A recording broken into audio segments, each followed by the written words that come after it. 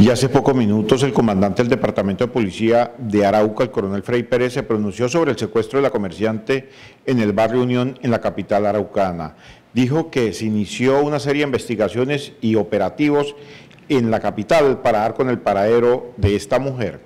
El día de hoy en el municipio de Arauca Capital se presentó un secuestro de una comerciante en el barrio Las Américas, donde llegaron delincuentes armados y sacaron a esta persona obligada, intimidándola con armas de fuego, llevándola en un vehículo con rumbo desconocido.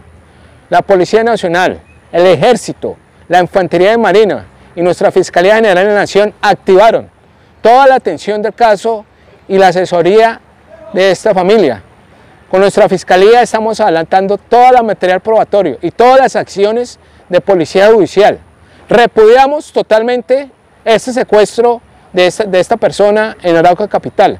Seguiremos trabajando interinstitucionalmente con nuestra fuerza pública para dar resultados óptimos y mantener la seguridad en el departamento de Arauca.